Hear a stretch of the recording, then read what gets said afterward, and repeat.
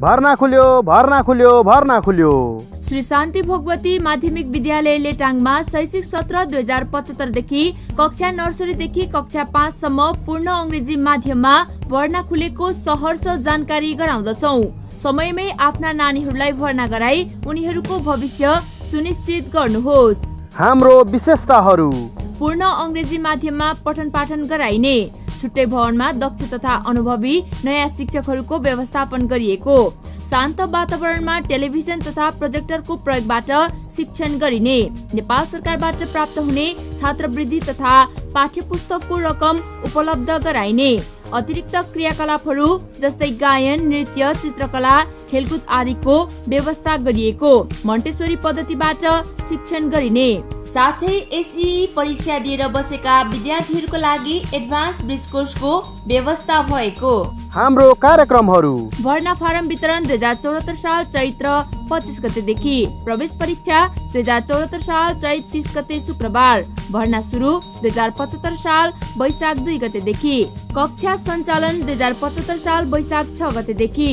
सम्पर्क लेखनाथ पौडेल कार्यक्रम संयोजक सम्पर्क नम्बर अन्ठानब्बे पाँच बिस तेत्तिस तिन सय दुई। श्री प्रसाद ढकाल प्रधानाध्यापक सम्पर्क नम्बर अन्ठानब्बे पाँच बिस पचपन्न एक सय तिन। श्री शान्ति भगवती माध्यमिक विद्यालय लेटाङ चार मोरङ।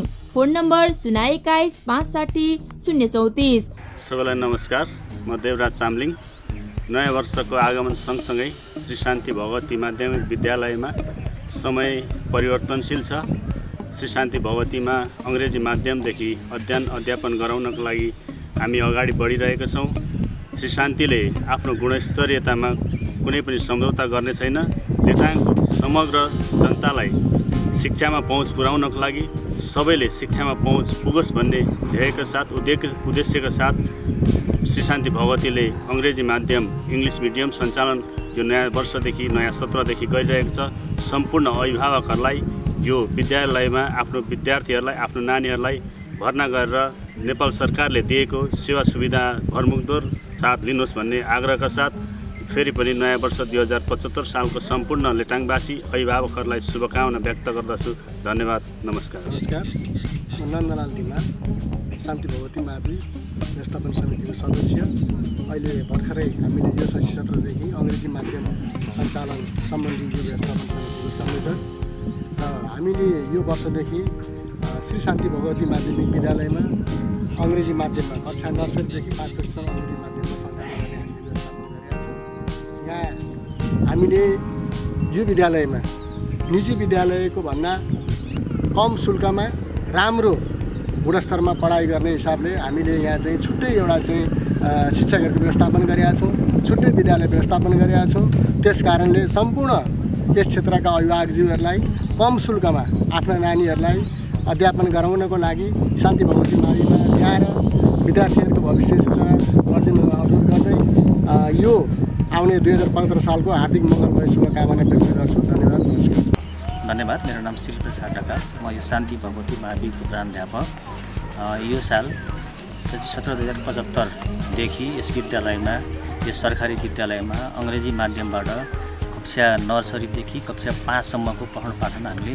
व्यवस्थित ढङ्गले सरकारी सेवा शुल्क सरकारले दिएका सेवा सुविधा भुक्तान गर्ने गरी हामीले यो सालदेखि अङ्ग्रेजी माध्यमको पठन पाठन सञ्चालन गर्दैछौँ। त्यसको लागि हाम्रो कक्षा व्यवस्थापन भइसकेका छ घेराबारा भइसकेका छ शिक्षकको व्यवस्थापन पनि हामीले गरिसकेका छौँ र हामीले चाहिँ सर्वसुलभ तरिकाबाट निजी विद्यालयले दिने जत्तिकै त्योभन्दा अझ राम्रो हुने गरी हामीले यो सालदेखि अङ्ग्रेजी माध्यमबाट पढाइ गर्दैछौँ र हाम्रो एघार बाह्रको पढाइ अङ्ग्रेजी माध्यमबाट विगत सात वर्षदेखि हुँदै आएको छ र हामीले क्रमशः यो साल एकदेखि पाँचसम्म र त्यस पछाडि छ सात आठ क्रमशः गर्दै हामीले नर्सरीदेखि बाह्रसम्म अङ्ग्रेजी माध्यमको कक्षा सञ्चालन गर्ने विद्यालयको उद्देश्य रहेको छ र म सम्पूर्ण अभिभावकवर्गहरूलाई यस विद्यालयमा आफ्नो विद्यार्थीलाई भर्ना गराएर आफ्नो शिक्षाको सुनिश्चित गर्नको लागि अनुरोध गर्न चाहन्छु र नव वर्ष दुई हजार पचहत्तर सालको सबैमा मङ्गलमय हार्दिक शुभकामना गर्न चाहन्छु। धन्यवाद। नमस्कार म लेखनाथ पौडेल। यस श्री शान्ति भौतिक माध्यमिक विद्यालयको शिक्षक। विद्यालयमा हामीले अहिले कक्षा नर्सरीदेखि कक्षा पाँचसम्म अङ्ग्रेजी माध्यमबाट हामीले पठन पाठन गर्ने उद्देश्य लिएर अगाडि बढेका छौँ। यो चाहिँ बिल्कुलै शान्ति भौतिक माध्यमिक विद्यालयले स्थानीय अभिभावकहरूलाई एकदमै गुणस्तरीय शिक्षा दिनको लागि प्रतिबद्ध भएर हामीले अगाडि बढेको अवस्था छ। हामीले यसको लागि भौतिक व्यवस्थापन अनि नयाँ शिक्षकहरूको व्यवस्थापन पनि गरिसकेका छौँ। त्यो हुनाले गुणस्तरीय शिक्षामा हाम्रो कुनै कमी रहँदैन। त्यो हुनाले अब वरिपरि रहेका निजी विद्यालयहरूमा अध्यापन अध्यापन जुन तरिकाले भइरहेको छ भइरहेको छ। त्योभन्दा हामी भिन्न तरिकाले त्यसलाई त्योभन्दा अझै राम्रो तरिकाले चाहिँ यो विद्यालयमा बालबालिकाहरूलाई पठन पाठन गराएर उनीहरूको भविष्य राम्रो बनाउने पवित्र उद्देश्य लिएर हामी अगाडि बढिरहेका छौँ। र अब हामीसँग एकदम नजिकमा आइरहेको नयाँ वर्ष दुई हजार पचहत्तर सालको म हार्दिक शुभकामना व्यक्त गर्न चाहन्छु। र सम्पूर्ण हाम्रो अभिभावकजीहरू नगरवासीजीहरूलाई एकदमै उत्तरोत्तर प्रगतिको कामना गर्दै यस विद्यालयमा आएर पाइला राखिदिनु हुनको लागि र समग्र लेटाङ क्षेत्रकै शैक्षिक गतिविधिहरूलाई अगाडि बढाउनको लागि हामीलाई प्रोत्साहन दिनको लागि म हार्दिक अनुरोध गर्दछु name is Tirtha Shrestha. I'm from Letang. Uh, I was a teacher of Pranchal Almaty Home. Currently, I'm the teacher of this English medium school. Now, I request to all, all the guardians, all the parents, all the students to join here for the betterment of the future in the days to come.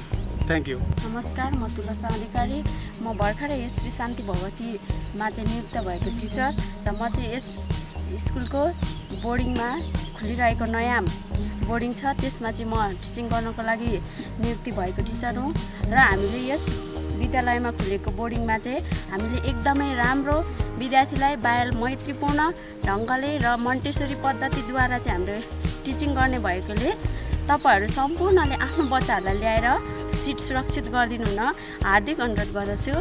नमस्कार म सन्तोष सौलागाई यस शान्ति भगवती उच्च माविको विज्ञान संकाय अन्तर्गतको रसायन शास्त्रको teacher. यस शान्ति भगवती उच्च माविमा हामीले एसइई दिएर बसेका विद्यार्थीहरूका लागि एडभान्स साइन्स ब्रिज कोर्स सञ्चालन गर्न गइरहेका छौँ।